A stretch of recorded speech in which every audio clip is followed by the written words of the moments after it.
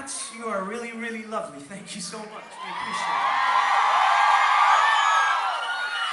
it. Um, not actually just saying this, Santa Cruz is one of the most beautiful, dreamlike, just like I wish I could just waste my entire life here places. And uh, to be playing here with ladies who have shown us so much generosity and so much love, and musicians who've done it the right way, and as family. Man, is there anybody better than Tegan and Sara? We really appreciate it.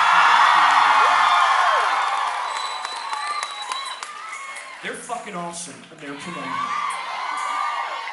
This is about Canada. It's so cold in this country. They rode